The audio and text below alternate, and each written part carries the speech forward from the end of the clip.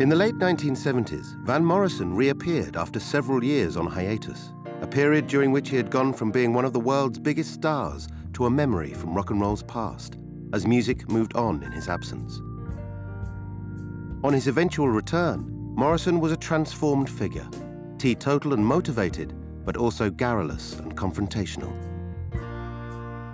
I think it's always been a problem for him. He has a God-given talent.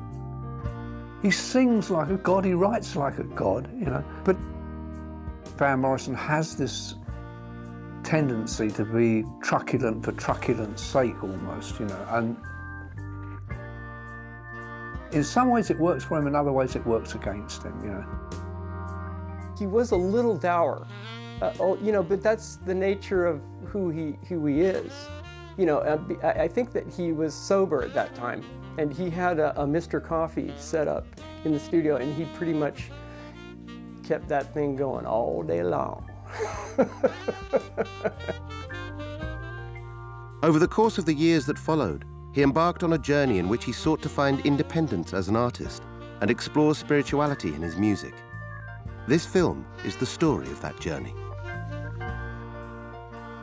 I didn't expect the, uh, the spiritualism that was going to be, because I didn't really have any sense that that was going on lyrically.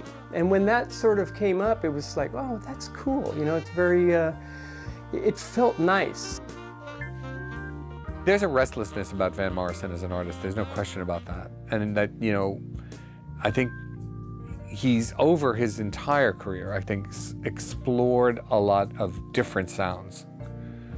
Um, I think, however, in, in, in the 70s and 80s, um, he defined what I would think of as a kind of essential Van Morrison sound that is a kind of conglomerate of all of the things that he's interested in. And he kind of invented a sound, I believe. Van is a songwriter. Van told me one time, I write songs. The reason I make records because that's where songs come. and that, that sums him up. He makes records because that's the way songs come.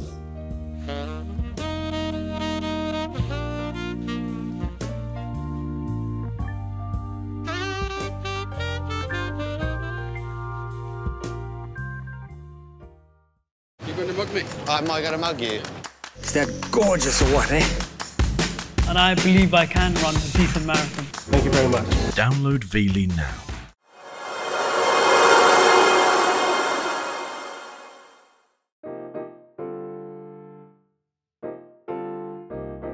In the spring of 1974, Van Morrison was completing work on Veedon Fleece, his eighth studio album in seven years. The first decade in his career had been a roller coaster.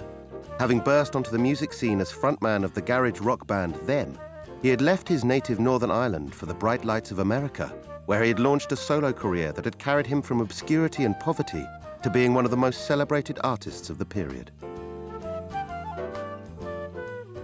By the time we get to Veedon Fleece, Van Morrison has created this body of work over six solo albums that really cover the waterfront. They set out the motifs and the the themes and the styles that are really going to in, in, inform the, the rest of his career. Um, I mean, in, in a way, he's slightly unfortunate in that he started off with a completely unique one-off piece of work in Astral Weeks. How do you follow that? Well, the answer is he follows it with a, a kind of jazz soul album in Moon Dance, and then he follows it with a very R&B oriented album in, in his band and street choir, and then there are sort of slightly more troubadour style albums in, in St Dominic's Preview and uh, uh, particularly Tupelo Honey by the which time he's living in Woodstock and uh, you know this is redolent of that whole sort of troubadour era. So he's he's done all of these different things really that draw on so many sources. Street choir. It's an incredibly impressive body of work, which, as I say, really sets out the template for the rest of his career. But possibly at this point, it's also created a certain amount of confusion about his musical identity and what he actually is and what he stands for.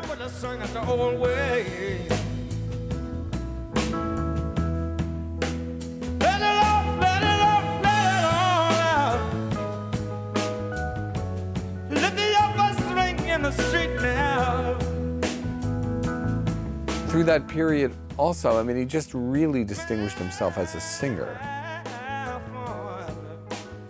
The instant that you heard Van Morrison, you knew who, exactly who it was.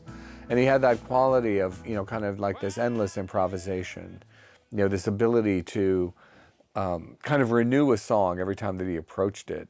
So, you know, that early phase of his career was, you know, very distinctive and he was important and influential and, you know, someone that everyone kept their eye on. The sense that, you know, a Van Morrison record was a, a great event. And I think he got involved with serious musicians while he was in America. Uh, there was even, uh, at one point, I think there was a, supposed to have been a collaboration with Miles Davis. I don't think it ever happened, but I mean, the very fact that Miles Davis was at all interested in Van Morrison shows at what level he worked, or what, what level he was respected at on musically.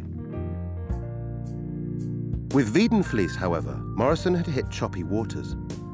On its release in late 1974, the album was met by collective indifference, with critics dismissive and sales significantly lower than Morrison had become accustomed to. He was clearly stung by the response and made disdainful remarks about the press. Although it was later reappraised as an exceptional record, Veedon Fleece brought to an end a sequence of unblemished success.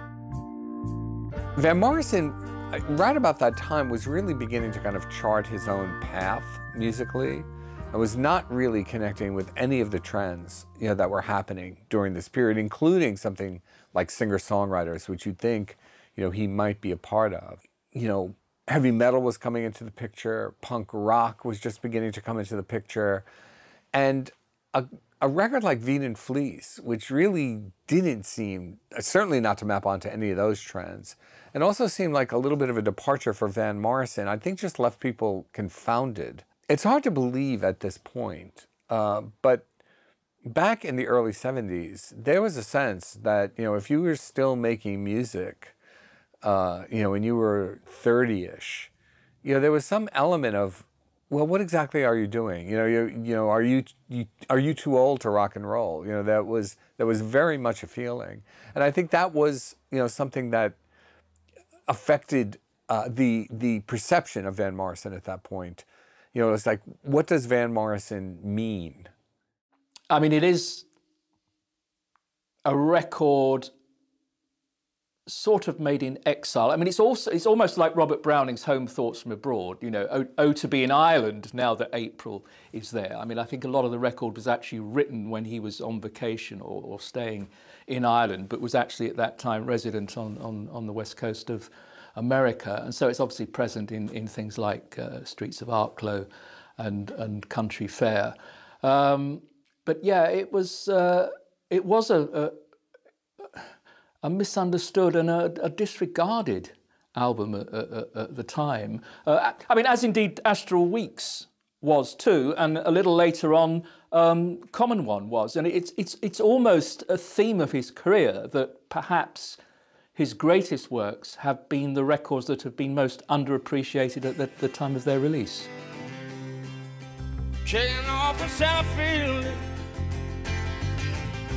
Southfield Watching them bring down for the game. One shot deal don't matter. The other one's all the same. Oh, my friend, I see you. Wanted to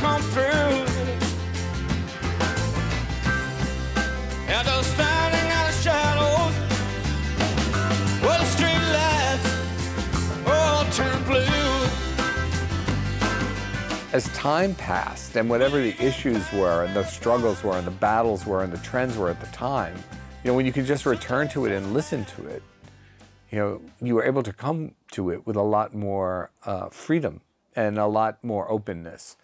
And I think those are the qualities that um, I think, reward your listening to that album.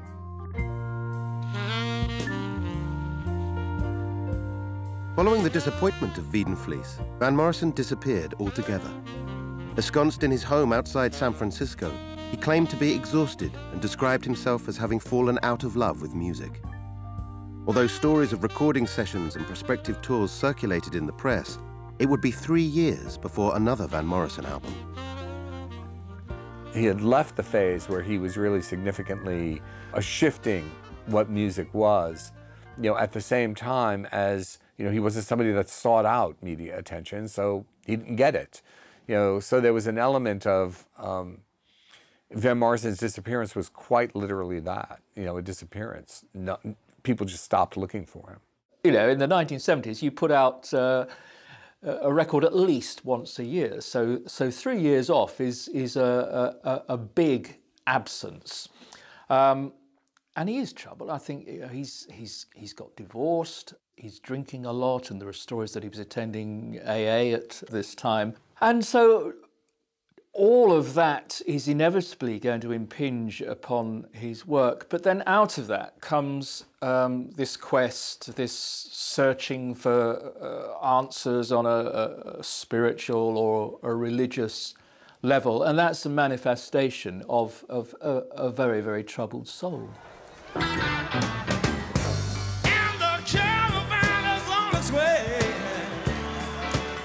Van Morrison briefly resurfaced in the winter of 1976 to make an appearance at The Last Waltz, a farewell concert for the band.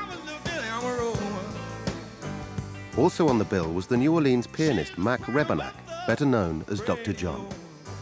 A hugely influential jazz, R&B and blues artist, Dr. John had struck up a rapport with Morrison and had agreed to help end his exile from the music business by collaborating on a new studio album. Yellow is painted red and white. I think Dr. John, you know, what he brought was that, you know, he's a creative guy. And he brings a lot of history and soul and just, you know, being the whole New Orleans thing, he, it was it was a quite a quite a, an ordeal for for me because you know I mean I loved it. He you know he he plays just great piano You know, I could just sit around and just listen to play just in the studio, not even recording them. It was pretty nice. And he, you know, he threw, he and Van worked on a lot of ideas together out by the piano. They work up the parts and stuff. And he was there to please Van and, you know, compliment the music. I mean, he's a, he's a great supporter. He's, you know, he's your, right behind you, you know, he's your, he's your, your rooting section. And he was great for everybody, you know, he really gave a lot of support to everybody. Van's done a lot of great stuff on his own, but I think he was probably saying, you know, maybe I can get a little more funk, a little more soul, a little more from Mac. Maybe this, this time in his life, it was like, this might help me, you know, a little bit more because I had this period of not recording for a while. Sessions for what would become a period of transition took place a world away from the traditional haunts of Morrison's former life as a Bay Area hippie. Accompanied by Dr. John and the album's other musicians, he relocated to Manor Studios in the English countryside, a quiet and unhurried setting in which to reacquaint himself with the recording process. Everybody was there together. You know, it was a family kind of ordeal, and the, the, they have a great staff there. The facility was, was wonderful, you know, and I think the environment was conducive to be relaxed. We're gonna not, we're not rushing into anything. We're going to sit down, we're going to run through the stuff and, and learn the songs and record them. And um, it was, it was a very relaxed atmosphere. I think he's particular, but he's not picky. For him, it's feel. He gets the feel. If you come in and, and the vocal feels right, and it's good expression, and you know he's got the the the vibe that, that, that works, he's not going to do much to change it. That's really his thing. Is uh, like Dylan and some other artists, they just they they go for the feel. If it feels right, great. If there's a couple of mistakes, it's not going to matter. You know, it's the feel and the vibe, and the, you know everybody's playing together, and it just works. And those records aren't sterile. I mean, I felt good about the album. I mean, this is I didn't know if we had a hit. You know, and I've gone back and listened to it, I thought this is a really good record. I mean, there's some good stuff on that record. The, the vocals were great. I mean, Van is just like an amazing singer. He's, he's fearful when he sings. You know, he doesn't. It's like he doesn't care, you know, if he misses a note, because he's had so much trust in how he sings.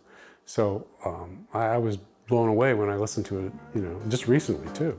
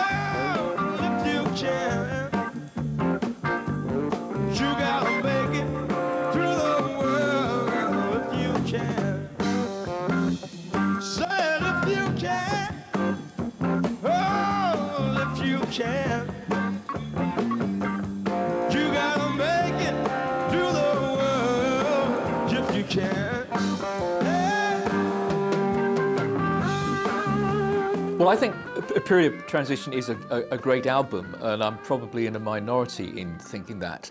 Uh, I mean, he made it with, with Mac Rebennack, Dr. John, and I think that's a brilliant combination. And, uh, you know, it's, it's, it's, it's possibly the funkiest record in, in, in his canon. Certainly the funkiest record he'd made since parts of his band and street choir back in 1971. It's got some crack musicians on there, uh, musicians from Stevie Wonder's band, and Stevie Wonder was the hottest thing on the planet at that point of, of time. A period of transition in that uh, late 70s era is, uh, is a somewhat rootless uh, Van trying to uh, re-establish and re reassemble, I think, his, uh, his, his, his, his our, our, artistry, really. He's actually in a period of transition rather than this record reflecting where he's going. It's almost like a holding record, so it's gone back to his R&B roots with the help of Dr. John, uh, while he is searching for his next direction. Van Morrison's return, however, was greeted with little fanfare. Reviews of A Period of Transition were tepid and disinterested. Music had moved on over the course of the 70s, and the album was released during the so-called Year of Punk, when the punk rock phenomenon came to dominate the music world. The sense of kind of cultural struggle that punk represented was very important. And, you know, if, if something didn't seem like it was part of that, it was very easy to just turn away from it because, because that, that, that battle was, was, was requiring so much of anybody who cared about it. And I, I think that hurt an artist like Van Morrison, who didn't really care that much about it and really pretty much wanted nothing to do with it. If, if Van Morrison was making music like the kind of music he made with them, which was kind of rough and tumble, you know, R&B, the punks really would have looked up to that. I mean, and, and the music that he made with them was an inspiration for what, what punk became. And there was a kind of questioning of, of every artist who kind of came up in the 60s, you know, and, you know, they had to kind of re-earn their place. And so for someone like Van Morrison, who pretty much wasn't interested in doing that, you know, he was going to suffer for that. You know, there was a, a sense in which, you know, the, the, cult, the cultural energy was around what, what punk rock meant.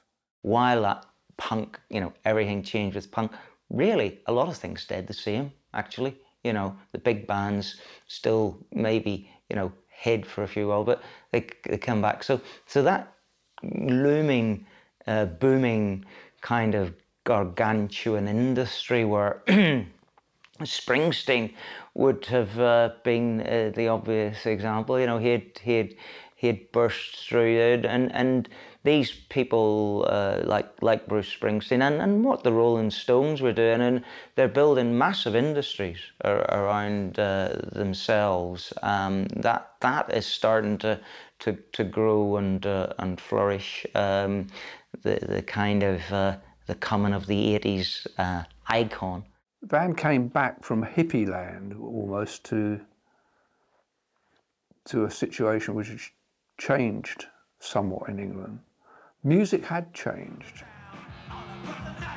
I had hopes that what punk was going to do was going to produce another form of music, and it didn't really. It shot itself in the foot, largely because of its attitude again.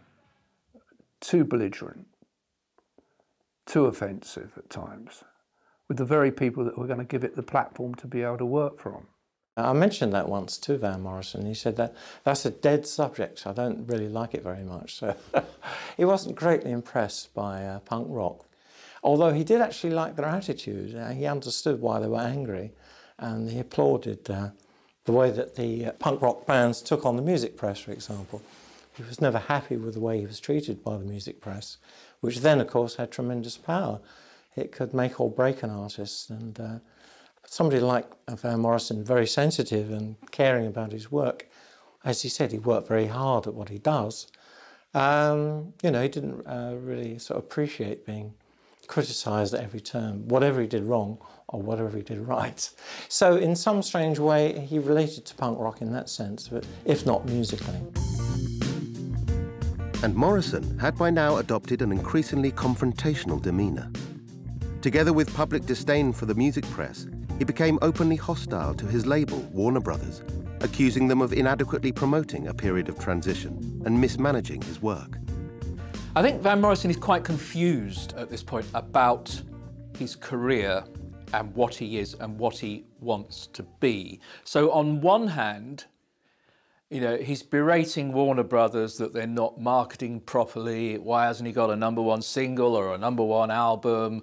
Uh, so he's thirsting for commercial success in that way. Uh, but then at the same time, uh, you know, he sees himself as an artist who's in it for the long haul rather than, uh, you know, a piece of a, a, pop commodity. So he's measuring himself against people like Ray Charles and Muddy Waters and Duke Ellington rather than against, you know, the pop stars of that time. So there is this confusion about wanting to be a star but not wanting what goes with stardom and fame and celebrity. Uh, so he develops this very sort of tetchy persona in terms of his relationship with, with, with the media. And he has paranoia about any attempt to make discovery about his personal life as he sees it, you know, his family. It could be quite innocuous questions, you know. He would regard, Van would regard, what's your favourite colour as a personal question. Frustrations over the performance of A Period of Transition were in part satisfied by the release in 1978 of a new studio album, Wavelength. Showcasing a more commercially oriented sound, Wavelength proved to be the fastest selling record of Van Morrison's career and went gold within three months of hitting the shelves. Wavelength was the Van Morrison record that a lot of people were waiting for. You know, it was much more muscular. It was much more hard hitting. It, it, it connected much more with, you know, the kind of like, you know, bruising R&B, you know, that he used to do. And that was what people liked about him. Certainly what I think what his, you know, fan base, not necessarily critics, but, you know, what his fans wanted from him.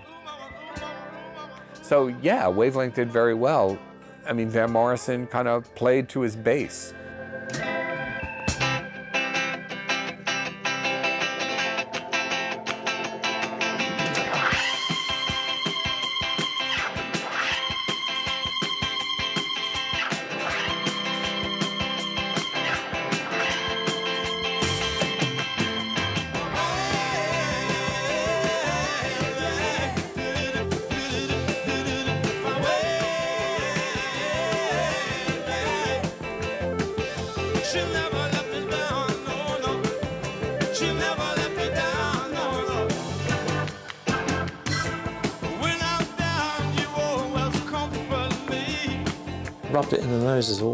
Naysayers who thought Van Morrison may be on the way out. Certainly wasn't at that period. He was doing incredibly well.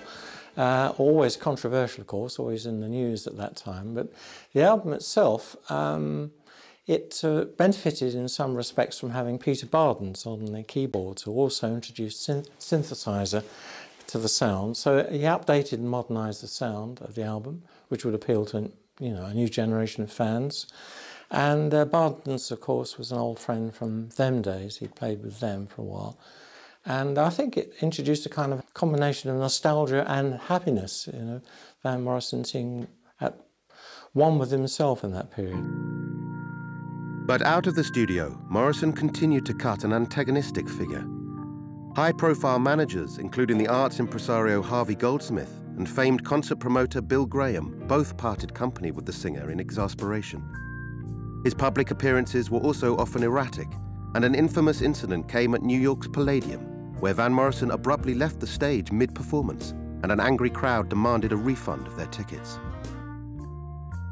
Fans never going to sit down with someone who's going to give them advice and that. And uh, I mean, he's an autodidactic kind of character. That's the whole way that his world has, uh, his his creative world has been shaped, is is through his his own. Um, his own sense and sensibility, and it's um, it, it's really on a hiding to nothing. Uh, the the course that he embarks on with these various managers, and um, the problem with uh, and Van Morrison uh, uh, in that period is that he isn't going to fit into any of your managerial boxes. You know, it's it's not only the infamous uh, Palladium show in, in, in New York. I mean, even at uh, something like um, the band's Last Waltz show, according to Harvey Goldsmith. His name is actually being announced over the PA system. Ladies and gentlemen, the one and only Van Morrison. And Van is standing on the side of the stage saying, don't want to do it, don't want to go on. And Harvey Goldsmith reckons that he actually had to kick him up the arse to push him out of the wings and onto the stage. So, uh, you know, there is this again, it's this dichotomy. There's, the, the, I think there's a genuine stage fright there in some ways, uh, and yet there is also this absolute need to be out there uh, at the same time. That's, that's, that's the, the, the, great dichotomy of a performance artist, and, and Van had it in spades. I found him paranoid to a degree, and he had this slightly cantankerous disposition. You know, it's a part of his nature. I think at some point in his life he was damaged. I don't know where he was da damaged or how, but I think he's put a protective shield around himself ever since that point in his life and said, right, the music business I do not like. You know, I'm in it, but I don't like it as a business. I like the music, I don't like the business. And so he's kind of put one lot in one department and one lot in another. I mean, you can write songs about anything, uh, but it's like uh, what comes harder is like sort of the projection on what it is, um, and the fact that you know that it's going to be um, it's going to be criticized and it's going to be analyzed, and um, it's you know it's what does it mean and all this. I mean that uh, you know that makes it a chore because you know before you start that um, it's going into the marketplace and it's going to be uh, cut up and spit out, you know, and uh, that's not what it's about. Is that a burden to you then? The fact that your records are subjected to this sort of analysis and to this sort of criticism? Well, it's boring. You know, it's boring. I mean, it's, it's supposed to be spontaneous. And uh, if I knew what I was saying, um, then I'd, I'd say, you know, this is about this. But that's not what writing is to me, you know. Um, is coming from the unconscious or collective unconscious or something, and I don't know what it means either. You know. You know, there were external factors of business and media and your other responsibilities as an artist that Van Morrison spent a lot of Van Morrison spent a lot of time complaining about. And that's fine. I mean, a lot of people don't enjoy that stuff. But somebody's got to do it. You either have to let your manager do it or you have to do it yourself. And if, you know, you're unwilling to do either of those things, you know, it's gonna it's gonna ruffle feathers even among people who kind of are getting paid to have your best interests at heart. But you can't not do it and then complain about not getting it. But Van Morrison would. as, as an Irish guy once told me, he goes, you know, if you're sitting in a bar with Van and uh, there's three guys, Van would buy every fifth round. And I felt like that was a really like kind of damning comment. You know, it's just you know you're kind of a little bit on a you know you're not aware of what the kind of etiquette is for the people who are around you. And I think Van Morrison suffered from that. In the aftermath of the controversy at the New York Palladium in late 78, Van Morrison tried a different approach and hired Rolling Stones PR man Keith Altham to help manage his image. One of Altham's first acts was to arrange a sympathetic interview with the Melody Makers' Chris Welch, a move that he hoped would coax his client into taking a softer attitude towards the music press. I got a call to an audience with Van at the Inn on the Park Hotel.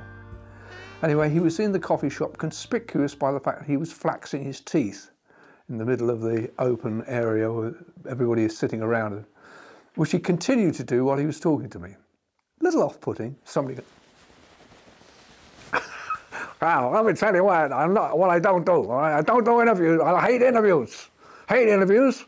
And I, don't like working with press, you know? And uh, I won't answer questions about my personal life. Oh, it's a good start, Van. Yeah, right, okay. When we talked about the Palladium event that had happened uh, a few weeks before, two or three weeks before, he said, well, that was one show out of about 29 shows I've been doing, maybe more. And uh, they were all great. He said, I did the, the bottom line, and uh, that was fantastic. Nobody writes about that. They just wrote about the one show, the Palladium. When he did walk off stage, I said, Well, what, what did you do? Why did you walk off stage? And uh, he said, Well, uh, I've been on the road for weeks and weeks. I was totally exhausted, and uh, I just had to get off and have a rest. So, you know, nothing more sinister than that. He said that um, you know people can damage your whole career with a story like that. He said, why do they pick on that one incident? Well, of course, that's newspapers, that's journalism. It is a story, unfortunately. Um, but he said, well, newspapers have too much power in that case, and uh, he said that uh, that's one of the reasons he liked punk rock because they were attacking the establishment, the music business, and uh, the perceived power that they had. He didn't like any of the photographs that existed at the present time. So I fix a photo session with Brian Harris, who is a very good top line photographer. He goes into the studio with Brian. He's got his sax with him. He's in a particularly disgruntled mood. Suddenly there's a clattering of tripods falling over and a lot of swearing. Van emerges after 10 minutes. I finished with all this fucking posing years ago. Oh, right. Well, you said you wanted good photos. This is one of the best photographers in London. You know. Well, I'm not posing. I don't know posing. Ah, I thought that was the idea, you know, portrait photographs tend to be posed around. Look, what I'm employing you for, and the finger comes out. We all like the finger, don't we? What I'm employing you for is to say no, no, no. I said, really? I said, have you considered a parrot? He said, what do you mean? I said, well, I don't do that, Van. I'd offer advice. If you don't want to take my advice, it's entirely up to you. But I'm not just handling you on the negative. If you don't want to do anything, then you don't need me. And I have been paid up front. I'll think about it. I said, you do that, Van. And off he went. I began to realise that Van Morrison, one of Van Morrison's things is the confrontation. He measures people by confrontation and how they react to him coming on in a semi-aggressive manner. It's the way he sorts the wheat from the chaff. And confrontation had always been part of the backdrop to Van Morrison's life. Having grown up in the turbulent political climate of Northern Ireland, Morrison had left Belfast in the late 60s as the sectarian conflict in the province erupted in violence. In 1979, though the troubles remained white hot, he announced that he would return to Belfast to play his first gigs in the city for 12 years. The tour, which also included dates in the Irish Republic, was part of Morrison's general reassessment of his life, a process in which his thoughts had turned towards leaving America and returning to the land of his birth. I think Van was very nervous when he first went back to Ireland because he'd left at the point where it was a very fractious period, you know, in, the history of Ireland, you know, the troubles and shootings and things were going on. And some people thought he'd deserted a sinking ship, uh, you know, rightly or wrongly, and he knew that there was a bit of resentment in the air, so he didn't quite know how he was going to be how he was going to be received. You know, would he be received as a sort of conquering hero, become a huge star in America, or would he be regarded as the boy who who uh, left the burning deck, so to speak? We got to put our together. I'm sure that we can work it out. I will the situation check on it out. Taking it further, taking it further, checking it out.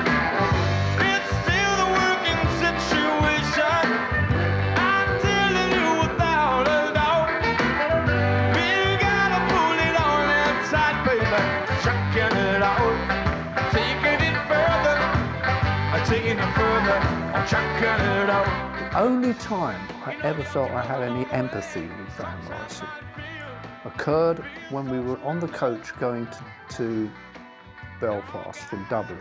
Stopped at the border and we were right out in the middle of farming land, agricultural kind of area. And the waitress came to take our order and I'm sitting opposite Van, face to face a few feet away. I don't know how I drew that straw. I don't think anybody else wanted to sit with him. Uh, anyway, I'm sitting there with him, and she comes to give the order, and she had the broadest Irish accent you've ever heard of. I mean, real agricultural Irish, and I couldn't understand a word she was saying. And I didn't want to be impolite, so I was saying, "Oh, yeah, could you give me that again?" And she said, and I could see Van getting twitching, starting to laugh, you know. And I'm saying, and and that couldn't understand is it hot? Out it came again with this heavy, broad, I couldn't understand a word. And he started crying with laughter. And he started, and then it started me. We were both trying to suppress it because we didn't want to appear rude to the waitress, you know. And it was the only time I've ever felt any, and he, he, we were both hysterical with laughter by the end of it. Following the end of the tour, Morrison returned to the Bay Area to record a new collection of songs that would move him away from the pop gloss of wavelength and towards the themes that would dominate his work during the 80s. While working on Into the Music, he also began a new partnership with longtime James Brown collaborator Pee Wee Ellis. Ellis was unfamiliar with Van Morrison and his previous work, but accepted an invitation to become his new musical director. Somewhere between R&B and pop and folk and fresh.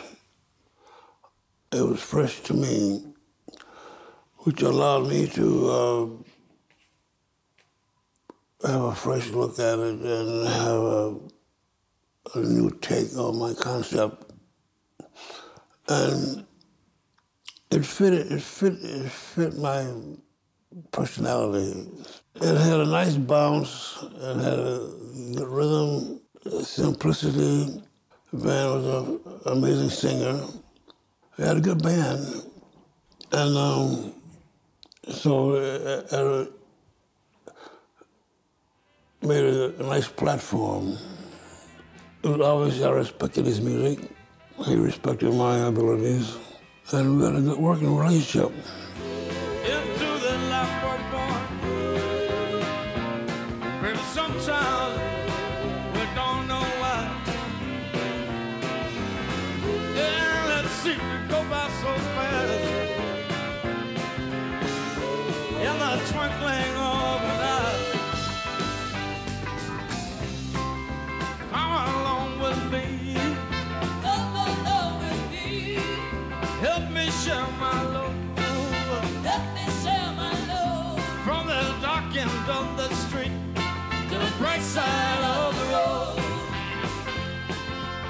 In, Into the Music is a classic record and was acclaimed as, as such at, at, at the time. It returns to some of his core themes. It references previous work. I mean, the very title, of course, echoes a song that appeared on the Moondance album. Um, and, uh, you know, he references Astral Weeks, with what once again down the avenue, and there's that uh, sort of string motif that, that, that also recalls Cypress Avenue. Um, so it's a it's a self-referential work in a way, um, and it's also very bright and upbeat with um, you know songs like "Bright Side of the Road" and uh, "You Make Me Feel So Free." When the healing has uh, uh, the healing has begun, and um, it's all in the game. You know what they're writing about. These are uh, good recordings, but they become improvisational uh, set pieces in his, his, his live performances. What their purpose becomes is for him to develop his dynamic craft and his improvisational craft on stage.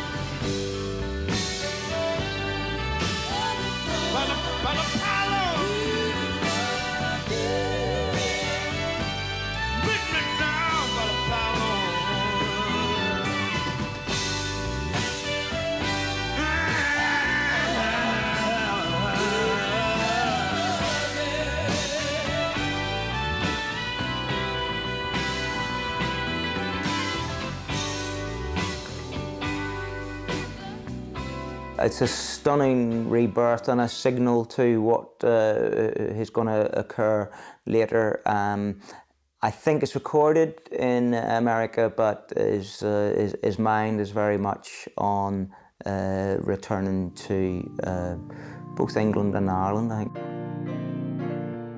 While Into the Music attracted universal praise, Van Morrison's next record proved to be one of the most divisive in his canon.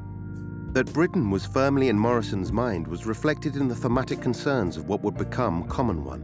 The album was recorded in Europe, the band having decamped to Super Bear Studios near the French Riviera, a reputedly haunted complex built on the site of a former abbey.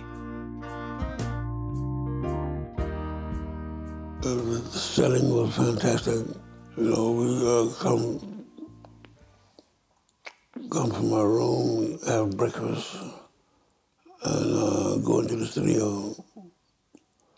And um, some of the people had weird dreams and like it was kind of uh, kind of you know. It was in the, up in the mountains and pretty desolate. And we had a lot of um, interesting situations like uh, to of Ancient Peace. Man wanted something like an Alp horn. We didn't have an Alp horn.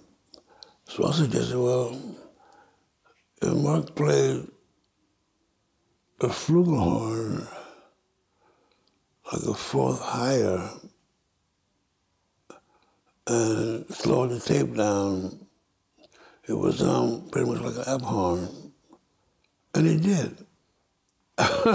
so we worked out there in.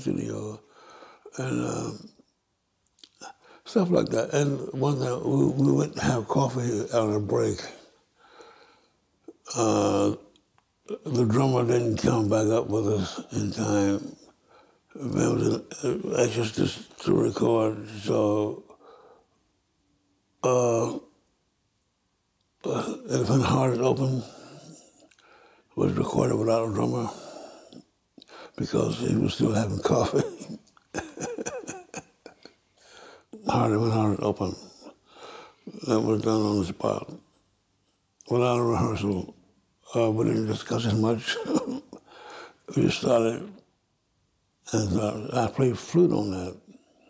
It was kind of a magical thing that happened there, uh, very spiritual. Can you meet me in the country in the summertime in England? Can you meet me? Can you meet me in the country in the summertime in England? Can you meet me? We go riding up the candles in the country in the summertime Did you ever hear about? Did you hear about? Did you ever hear about? Did you ever hear about? Did you ever hear about? Wordsworth and Coleridge. They were smoking up in Kendal.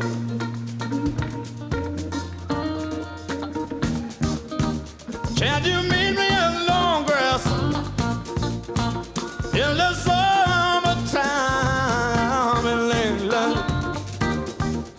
Common One is an album where it really becomes overt the degree to which Van Morrison is beginning to kind of identify with this Anglo Celtic poetic tradition. You know, there's, you know, I mean, very um, overt references, you know, to Samuel Taylor Coleridge and William Wordsworth and lyrical ballads, their great, you know, collection of, of poems that kind of launched the Romantic movement in poetry. Uh, you know, that connection, a kind of, um, a kind of, a sort of rock and roll or jazz or R&B pantheism begins to come into, you know, into his music, and which he sees those poets as kind of embodying, you know, that this life in nature.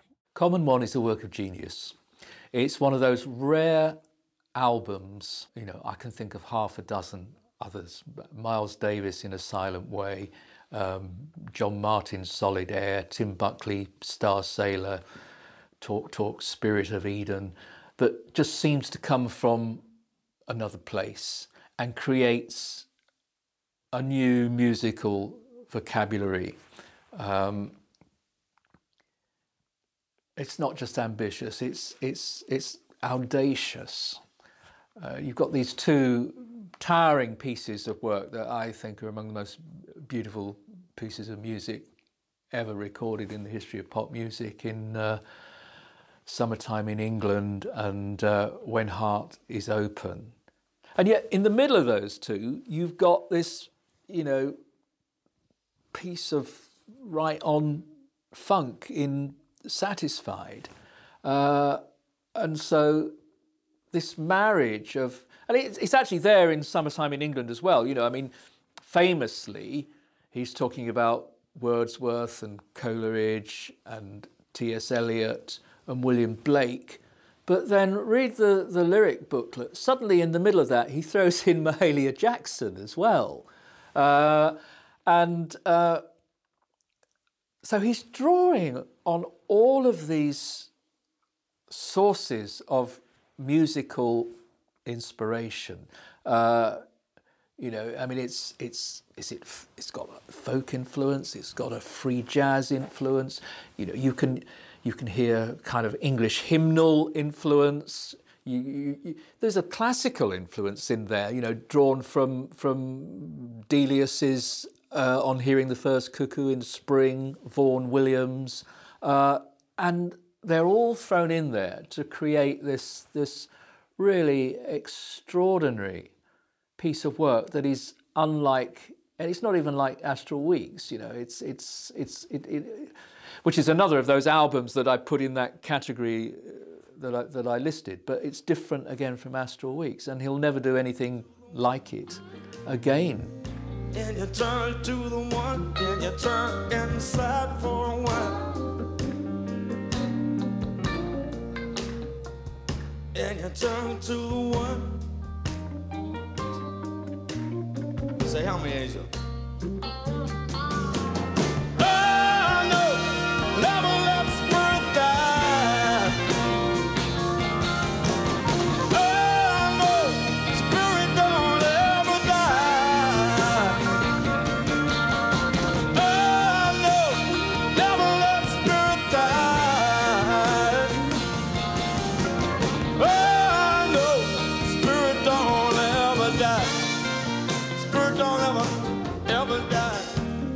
Stands as a, a, a, towering achievement, and the fact that uh, it wasn't recognised as such at, at, at the time, I find quite extraordinary. Did I recognise it as such? I'd like to say that I did. Uh, I probably thought it was his best album since Astral Weeks. I think today I'd put it up there alongside Astral Weeks as you know one of the pinnacles of of his long career. You have to bring people along. You, know, you can't cater to everybody's whim. You got to be uh,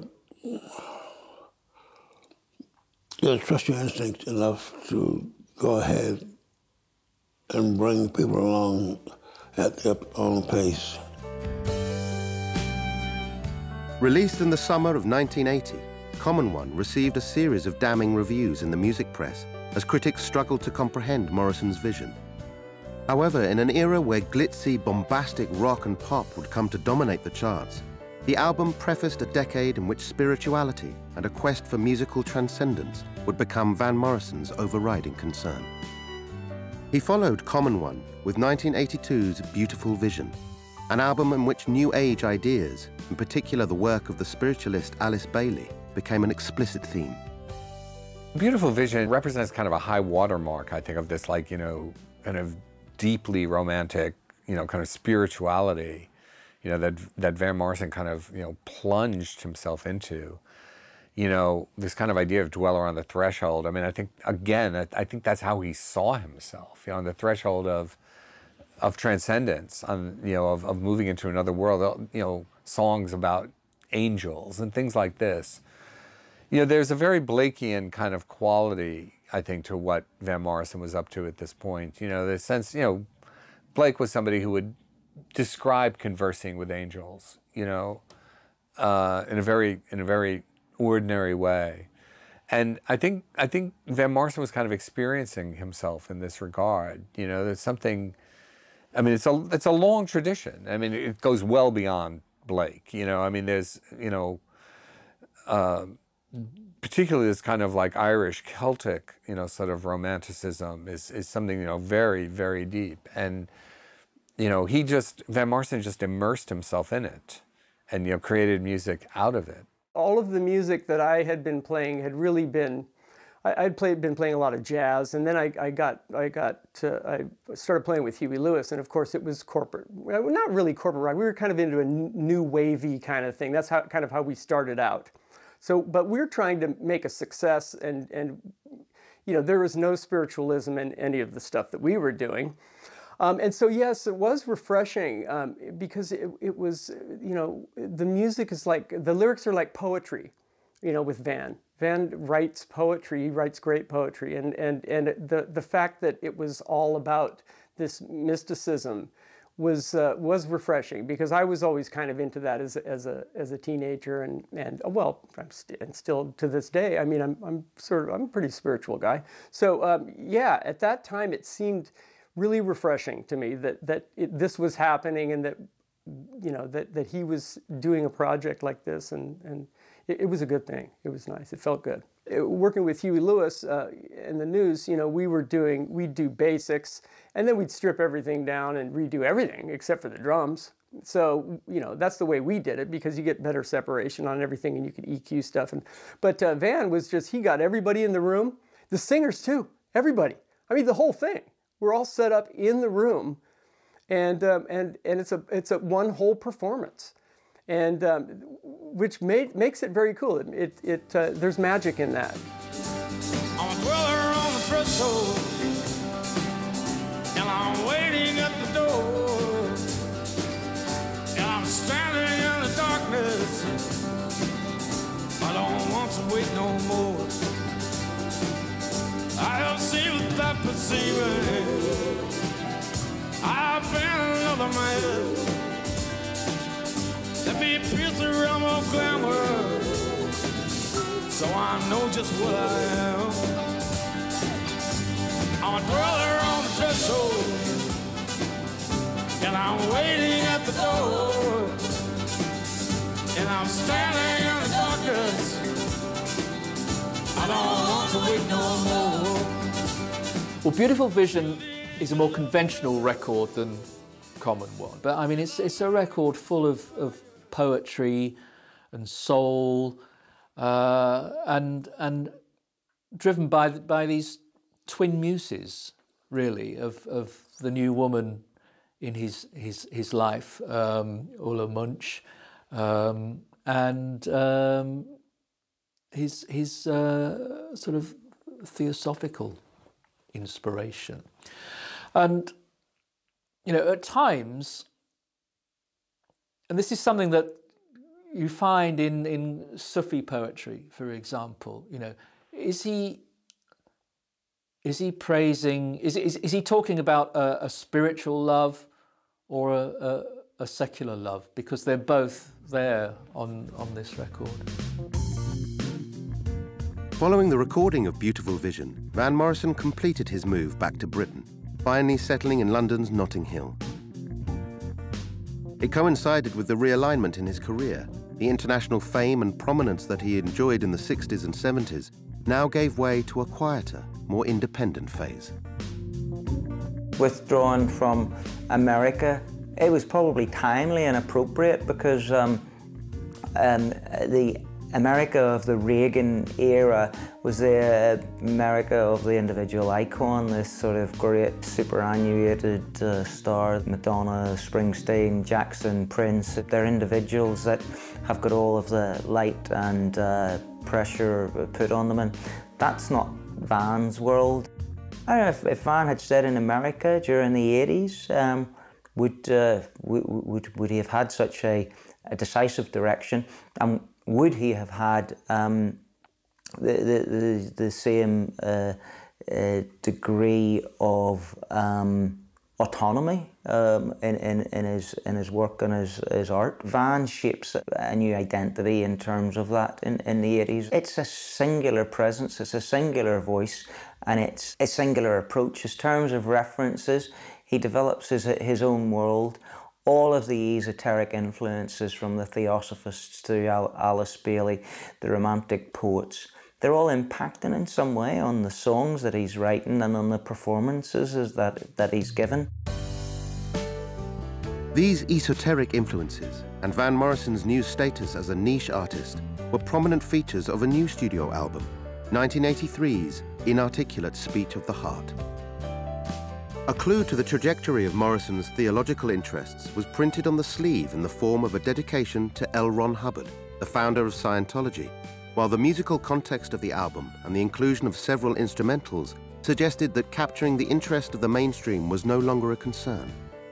Indeed, although sales in the UK were strong, Inarticulate Speech of the Heart failed to chart anywhere near the American Top 100, confirming that an artist who had once been a major commercial presence was now catering to a narrower audience. Inarticulate Speech of the Heart, I mean, just in its very title expresses a kind of Van Morrison's, I think, musical desire at this point to sort of get, you know, really beyond words. And the degree to which, you know, instrumentals play a, you know, a, a strong role on that album, I think is another element of that. You know, that, that somehow, I mean, this is a very romantic notion, that somehow words aren't enough, you know, that you can't capture in language you know, the nature of these kind of uh, transcendent experiences. But it wasn't the kind of music that fans who were responding to Van Morrison's hits were going to respond to. The record, I, as I recall, got reviewed well. You know, there was an element of, um, I, I mean, I think critics liking that that kind of idea of the inarticulate speech of the heart and, and what he was striving for. You know, but that's not something that's going to get you on the radio. You know, and there's, you know, that sense of that divergence from his popular audience to, you know, a kind of niche, you know, prestige kind of audience and, uh, you know, appreciation. You know, I think that's, you know, this is around the time when that transition takes place.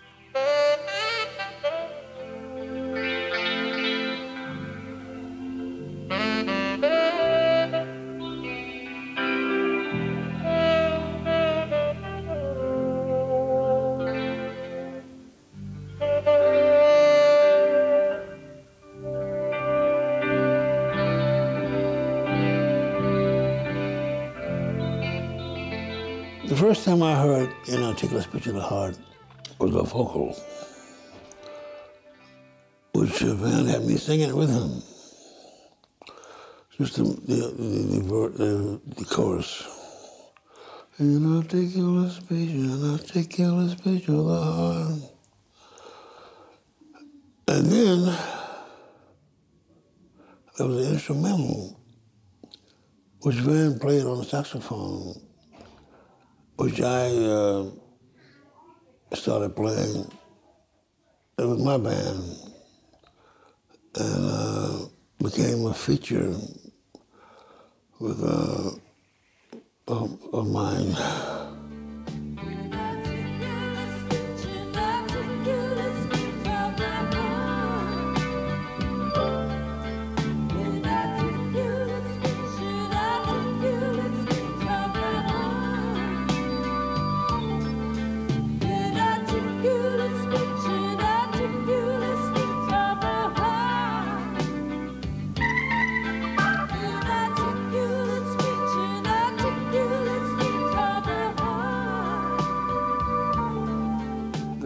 The I'd, I'd have the most reservations about is Inarticulate Speech of the Heart. Um, I think simply because it's the most 80s sounding of his records. I mean, the great thing about Van Morrison and, and you know, what makes him stand out for most of the 80s from, from other singer-songwriters, in- you know, including the, the very greatest like Dylan and, and, and Neil Young. He doesn't get sucked into this 80s sound of, you know, drum machines and synths. This record, Inarticulate Speech of the Heart, is the closest he gets to that, that synth sound. He doesn't really have this kind of early middle-age crisis that someone like Dylan has because he's gone off on this quite different spiritual quest. Um, but this record is the closest he gets to what I regard as a, a horrible 80s sound. The release of Inarticulate Speech of the Heart was followed by a return to Belfast and four nights at the Grand Opera House that were recorded for a live album. Part of Van Morrison's core artistic identity had traditionally been his live shows, and during the early 80s they became a particularly important forum for exploring and adapting his music and for trailing new ideas. When I'm playing live jobs, right, and I'm in the middle of a tour, I don't think about writing songs. It's not part of my, my reality. So I'm just concentrating on that, you know. So you do actually compartmentalize things very much like that. You take care of business. Well, whenever you commit yourself to say I'm doing so many dates here, right? So then when I commit myself to that, from the from the time I say yes, I'm doing that until the time I finish, that's what I'm doing. So my total concentration is on doing that job. Whenever it finishes, the job's over, and I can get back, you know. But until that point, I mean, I, there's very little else I can do except that, because I have to sort of wind myself up to do that. You see. Um, if I don't, I can't do it. So I have to focus my attention on doing that. And I can't really come out of that until I'm finished. You see? It's a matter of you have to put yourself at this energy level, right? Um, otherwise, you couldn't do it. I couldn't get up on a stage if I didn't concentrate on getting up on a stage, and I couldn't do it. Do you find it harder to summon that energy level that you're talking about? Oh, yeah. It becomes progressively harder as time goes on. Yeah. If you get Van will play a, a place three days straight. You need to buy a ticket for all three days because you never know which which one you're gonna get. You know, but if you get Van when he's on, there's nothing like it. It's amazing. It's worth the price of all three tickets. His live performances in the 80s are extraordinary. It was a, a, rapacious. I, I followed him all over the country. I spent three nights in Belfast at the Ulster Hall watching him, and um, yeah, the things he could he could create magic. Uh, I mean, the the root of musician and magician being quite similar, and and yeah, he, he could do this. this the, the whole the whole dynamic um, interplay with the musicians that you can hear on. Um, uh, don't uh, it's too late to stop now. Um, th- that is is taken to a new height, uh, particularly early 80s, is interplay with um, uh. Ellis.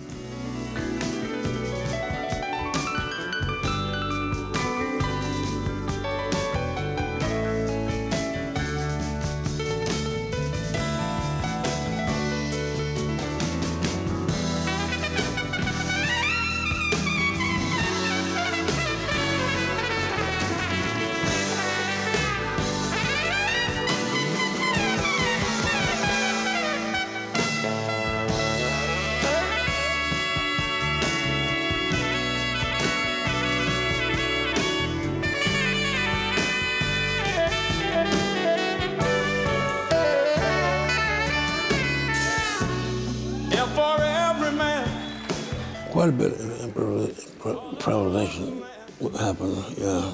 Extending things, changing the order of things. Uh, I come from a jazz background, tradition, and I very seldom play the same thing twice, except on tours, on certain songs. There were solos that I played that I liked a lot, and I felt like they fit the music. I would play the same one every night. Van caught on to that, and sometimes he would hum part of it with me. But by the mid 80s, Van's association with Pee Wee Ellis had run its course. 1985's A Sense of Wonder proved to be his last record with Ellis employed as musical director. Reviews of the album had been largely tepid, and Morrison looked to move into the latter half of the decade with a new sound and direction. It was feeling like a time for a change. And uh, sometimes you have to do that. You have to shake things up. And, you know, it was just fine with me. Uh, uh, uh, things were getting to be a strain to come up with fresh stuff, uh, interesting stuff. Uh, I think Van was struggling. Um, it was just uh, time for a change. No before, after, yes, after, before.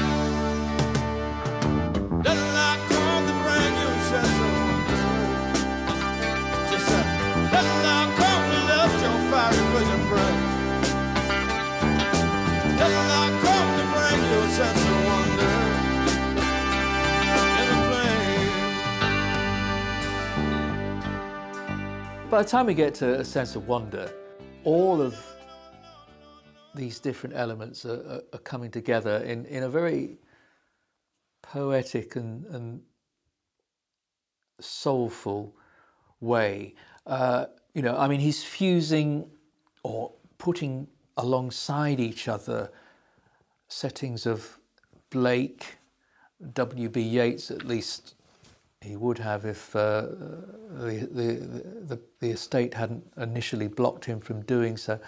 Alongside, you know, covers of Mose Allison and uh, uh, uh, Ray Charles. Also, alongside this kind of evocation of this dreamlike childhood, there are so many different facets of Van Morrison, and this is a record in which they all come together, really. With a sense of wonder coming after a run of several albums in which he explored transcendental and metaphysical themes, it was clear that Morrison's spirituality now resembled something of a quest, one that ran throughout his work. I mean, it's like sometimes you get to ask a question. I mean, uh, last year I think somebody asked me a question about um, when did your songs start to become spiritual? I mean, from like when I first started, uh, my first album in Warner Brothers is the most spiritual lyrically album I've ever done, probably. My second album was very spiritual. I mean, the song "Into the Mystic." Like, well, the question was, when did you get into mysticism? I mean, that was on my second album, Into the Mystic, and that's the most mystical song I've ever written.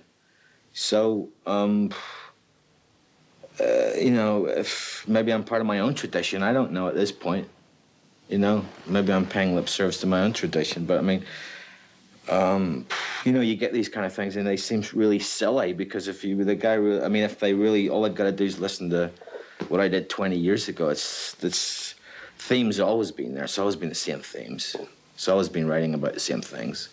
It's it's no, there's no no different now.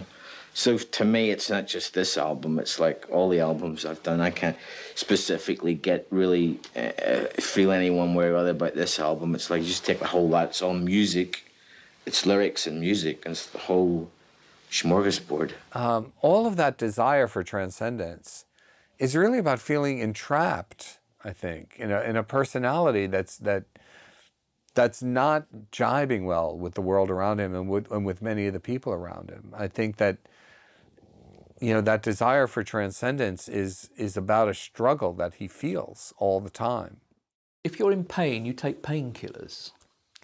Uh, you know, if you're in physical pain, you you you you might numb it with drugs or with alcohol. Uh, I, I think Van Morrison was in some kind of spiritual pain. I mean, he's he's he's never been noted as a happy bunny as they say. Uh, and you know, I think there was some some psychological or spiritual pain, whatever you want to call it, and so he went looking to heal whatever that pain was. And if you're in pain, you will try anything, and you will look everywhere. And so that's why I say, why shouldn't he turn to Scientology? Uh, why shouldn't he look at uh, you know, a whole range of different religions and philosophies. And indeed, that's, that's what he does. Um, and what is fascinating is the journey rather than, or the questions that he's answering, asking, rather than the answers or, or where he subsequently arrives at. Because where he arrives, of course, is no guru, no method, no teacher. So he goes on this long journey and then ends up coming back to this simple truth that there are no external answers. The answer really lies within our own hearts. The seminal statement in this spiritual quest came in 1986 with No Guru, No Method, No Teacher. Recorded with a reconfigured band, the album attracted the best reviews of Van Morrison's 80s work, and for many it represented the culmination of the journey that he had begun with Common One. It's actually a statement of the position that he's arrived at. It's a quote from, from Krishnamurti, in fact. So paradoxically, it's come from a guru. But it's this, this notion of um, having conducted this spiritual quest and not having found the complete answer anywhere, and then coming back to this realization that the answer is within your own heart all the time. Um, I mean, that's married to, uh, you know, well, musically, one of the finest records he's he's ever made. You know, when you listen to a track on uh, No Guru, No Method, No Teacher, like In the Garden, which is where that line comes from, you know, that there's a kind of pantheism that, you know, he puts forward there. You know, it's like you don't need the guru to take you to you know, enlightenment. Really, what you need to do is connect with the natural world around you. Again, it's a very romantic idea. And that's an idea I think that uh, you know that appeals to a lot of people. It certainly appeals to a lot of critics, and I think that's one of the reasons why um, the record was reviewed as well as it was. You know, it, it. I mean, you could look at No Guru, No Method, No Teacher as yeah, it's kind of free from ideology, but it also is kind of free from a certain discipline also, you know. Uh, it's a little easy. That said, In the Garden is a very beautiful song. And I think that, you know, again, it's a place, one of those moments where Van Morrison does find, you know, that kind of thing that he's, I think, searching for always in his music, where you just kind of disappear into the sound. The fields are always wet with rain after a summer shower. When I saw you standing, standing in the garden, in the garden, all misty wet with rain. It's the key song, uh, as he would often talk about it taking you through the stages of a meditative ritual. And even now, when he does it live, it still is sprung with this um, sense of expectancy and, and, and, and, and awe. But in those uh, initial uh, performances of it. Um, yeah, quite spellbound and then spectacular. And actually, um, at a certain point, you could you became aware of um, uh, kind of uh, ecstatic religious people coming to the gigs and uh, and kind of getting uh, into a mystic Christian uh, vibe that was coming off that. Touched your cheek so lightly. You were born again, born again in the garden. You fell, you fell, you fell, you fell, you fell, you fell again and again and you fell, you fell, you fell from the garden. Yeah.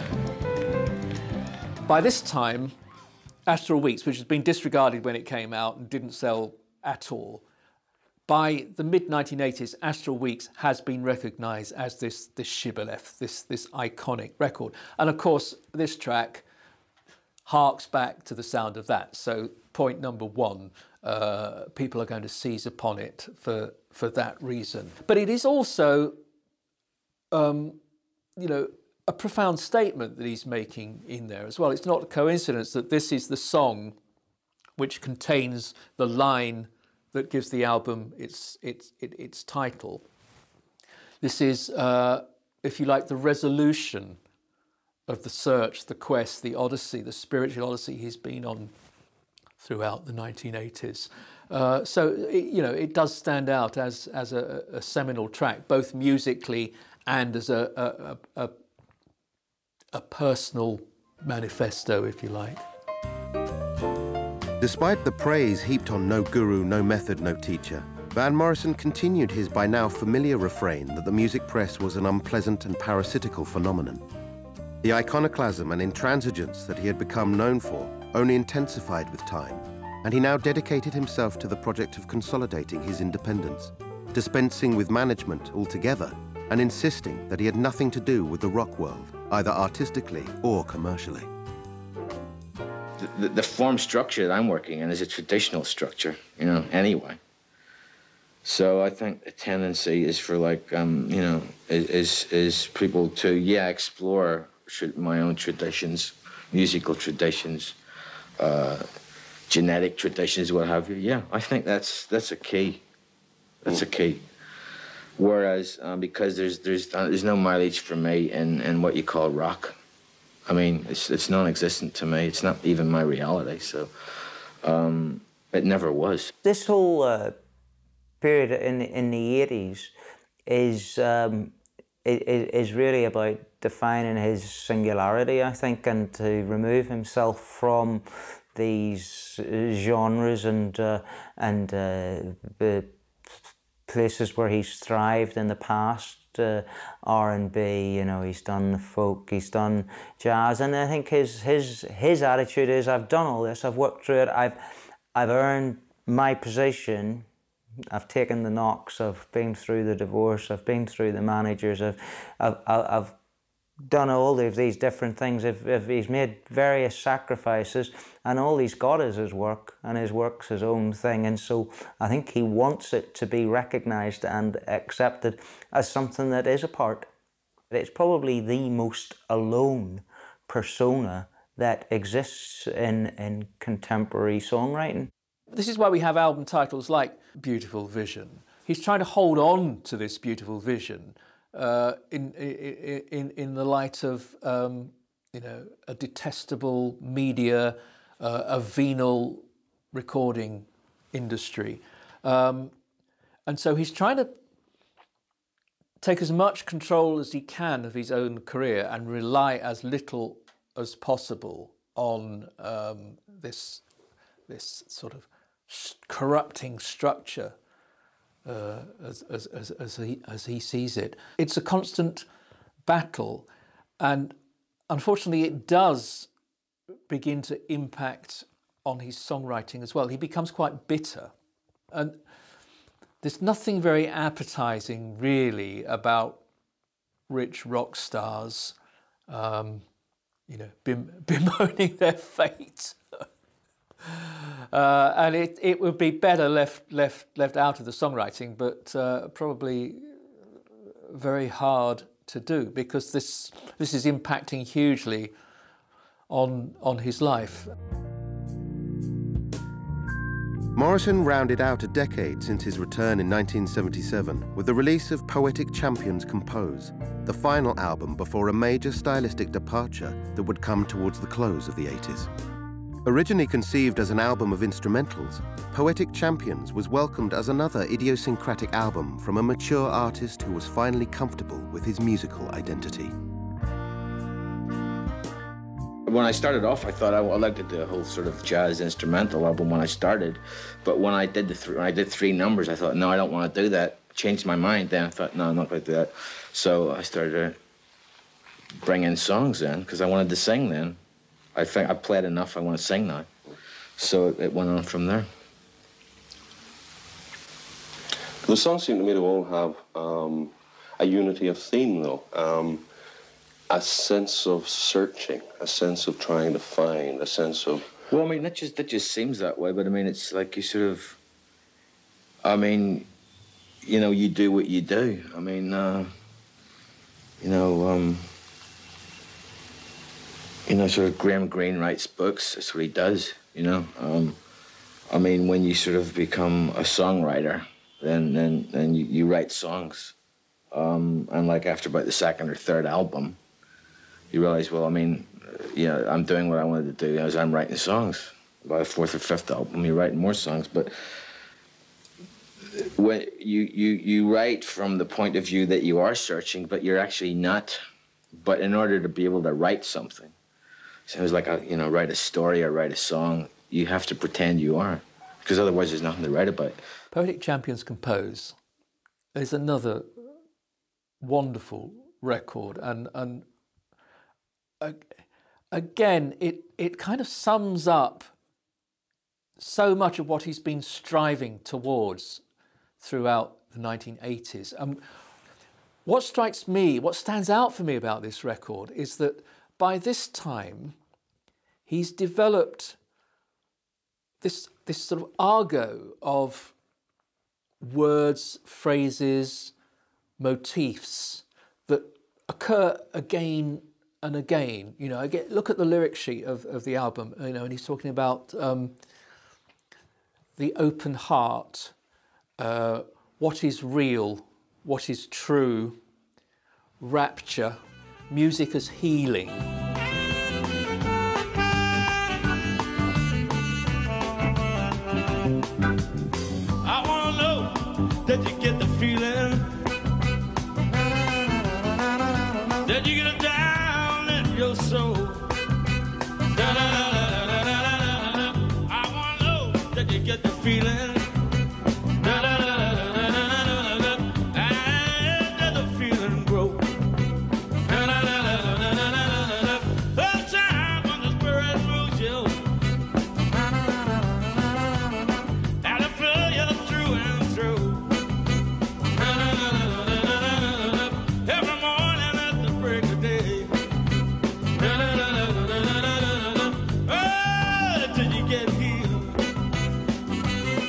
Did You Get Healed?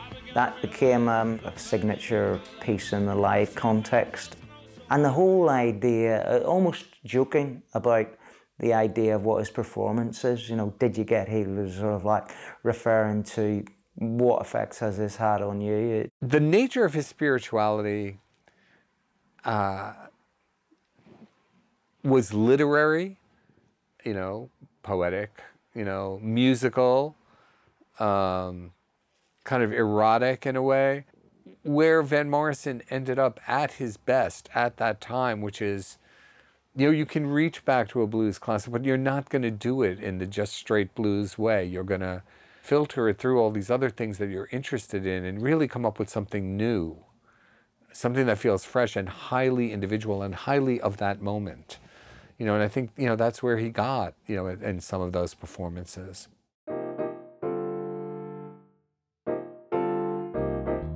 Van Morrison followed Poetic Champions Compose by making a return to his roots, recording an album of folk songs with Irish traditional band The Chieftains. Other collaborations followed, including a duet with Cliff Richard and a lengthy association with the jazz pianist Georgie Fame. In 1990, The Best of Van Morrison was released, his first ever compilation album. It met with unanimous acclaim, swiftly going platinum and eventually becoming one of the best-selling records of the decade.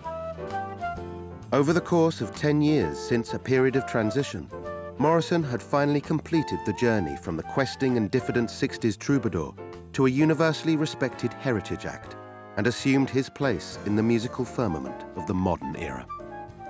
He has a lot of respect from his fellow musicians and from the people who like his work. And I think he'd rather have that than adulation. He's not really interested in fan, fan appeal. Know, he's interested in his work being respected and received with dignified critical response.